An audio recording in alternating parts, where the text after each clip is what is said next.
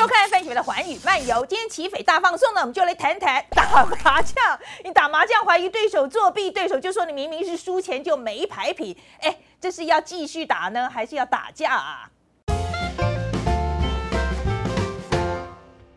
大家好，我是麦奇飞。虽然说这一次啊，美国大选什么怪事都出了，哎，但最近又发生一件让我觉得很不可思议又非常担忧的事啊，就是密西根州的这个底特律所属的这个韦恩郡呢，先前竟然有官员呢拒绝认证选举的结果。那理由是呢，他们认为当地有一个中心啊，在计算不在籍投票的时候出现了舞弊。那我们先前介绍过美国的选举制度啊，这个美国不像我们台湾嘛，这个投票日当天就能马上开完票，马上就知道谁当选。那美国各地计票之后呢，必先把这个结果。送交给地方政府，那由各郡啊这个政府对过选举结果之后再进行认证，然后要上缴到州政府来进行全州的认证，等到结果尘埃落定之后，才能进行之后的这个重新计票啊，安排选举人团等等的步骤哦。那通常这就是行礼如仪的事啦，很少人会拿来这个做文章的。但今年就不是这么一回事了啊。那时间回到这个上周二，这个密西根州这个韦恩郡召开了验票委员会这会议，那对选举结果的进进行认证啊，结果就二比二陷入僵局。共和党籍的这个主席巴莫呢，以及这个同党委员哈特曼啊，就投票反对认证的结果，说有些地方的这个选民名单对不上。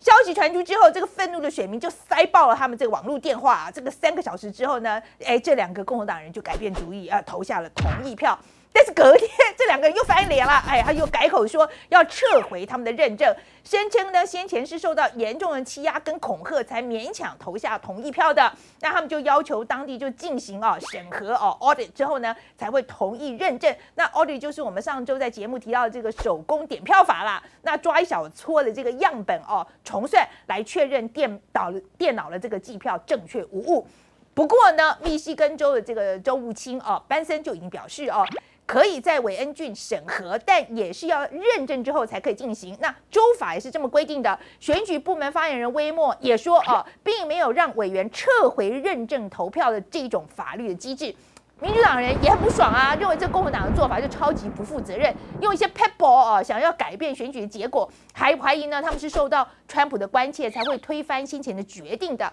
但是巴莫就强调，哦，川普只打电话来关心他人身安全，并没有施压。他也毫不怀疑，哦，是拜登拿下了密西根州，他只是想要确保错误获得纠正而已。最后呢，这个密西根州政府在十一月二十三号礼拜一啊，按照原定计划对选举结果就进行了认证，三比零就确认由拜登拿走他们的十六张选举人票。但当地两派选民为了这件事，哎，看彼此就更不顺眼了。美国大选搞到现在呢，场面变得实在有点难看呐。我先前在美国跑了这么多次大选，每次选举虽然两党立场分歧，但彼此都还是尊重、共享了这个民主制度的。而这个民主呢，也很大程度是建立在互信的基础上。但是这一次呢，许多共和党人为了翻转选举结果，手段立场都越走越极端。过去呢，通常是小党呢才会走极端路线，用强烈的立场来争取特定选民的支持嘛。那反观大党呢，人多，极端的意见就往往会被稀释掉。但现在共和党却反而变成一个超级大的极端右派政党哦，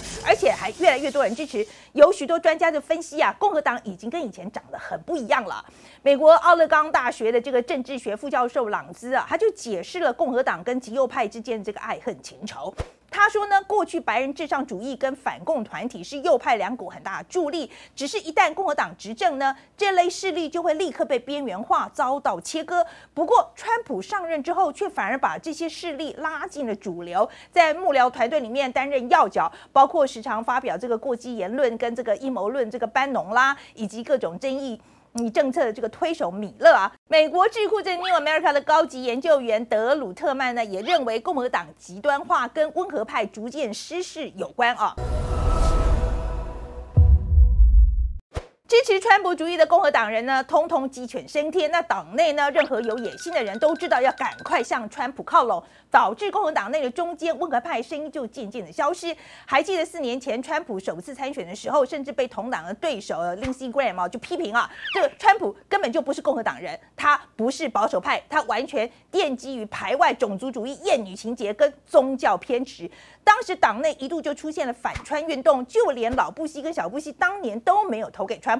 不过当年的反川运动是不了了之了，而且川普上任之后呢，夹带惊人的声势。原本反对他的党员有不少都立刻被川普收编了，而且在美国两党独大的体制之下，就算对川普有多不满意，也只能咬牙留在共和党，因为对他们来说，跟民主党结盟根本就像叛国，也没有其他第三方的选择。结果呢，就导致二零一八年其中选举的时候，共和党输最惨的就是温和派的成员。未来恐怕只会有更多的温和派认为在党内水土不服啊，最后呢，自己摸摸鼻子就淡出了政坛。不止党内的温和派声音逐渐消失，党外激进的音量呢也越来越强。那主要的这个挺共和党的组织就包括这个福音派团体啦、反移民团体啦、拥枪团体，这些在传统的美国的政治光谱上，都比一般的共和党人是要激进很多的。例如，这个共和党的大金主莫瑟就赞助了各种支持川普上台的保守组织，包括前阵超夯这个极右派的网站啊，布莱巴特新闻网。那拿人手短，吃人嘴软嘛。那拿这些钱选上了共和党人，当然势必就要支持这些组织啦，替这些团体宣传一下，然后再帮他们制定出更有利的政策，让钱回流到富豪或团体的身上。就这样，鱼帮水，水帮鱼，久而久之呢，就让共和党的立场就更加的右倾了。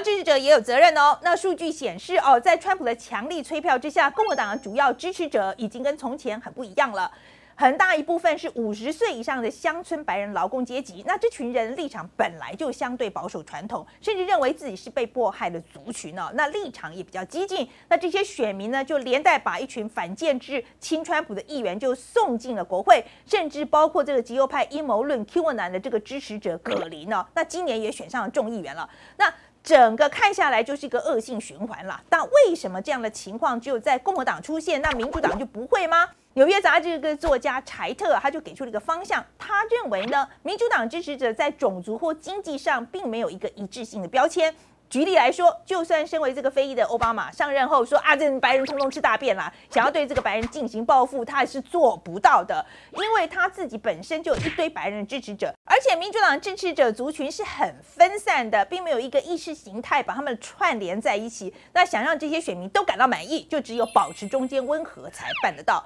至于川普呢，则是擅长利用族群的标签，那四年前就成功的催出了蓝领白人的选票。那这种方式很容易让选民入戏，激情四射啊，但也比较容易擦枪走火，演变成族群对立的极端局面。这就造成美国的分裂社会越来越严重。那分裂社会有什么毛病呢？哎，就是你得要处处提防，谁都不能信任。像这一次美国大选的这个邮寄选票啦，到这个媒体宣布总统当选啦，到各州计票啦，认证成。序啦，到联邦总务署交接啦，这些已经都做了几百年的步骤呢，每一步都有人质疑。效率本来就不是民主制度的强项，那民主要能够运作，是立基在大家对游戏规则要有一定程度的信任，对彼此也要有一定的信任，这样大家才能一起走下去嘛。比如打麻将，你如果老觉得你的对手会作弊，每打一张牌就全部检查一次，对规则也要全部重新讨论一次，你可以说这是你的权利，往好处看，还可以修正牌局的规则，让它更难作弊。但对手也在质疑你啊，你就输了才来斤斤计较，你赢钱的时候怎么见你有那么多废话啊？所以当大家都在尔虞我诈，输钱还有被翻桌不认账的风险，这牌你还打吗？今天集美大放送的关键字是政党利益赢家民主，共和党变成川普党，我们马上回来。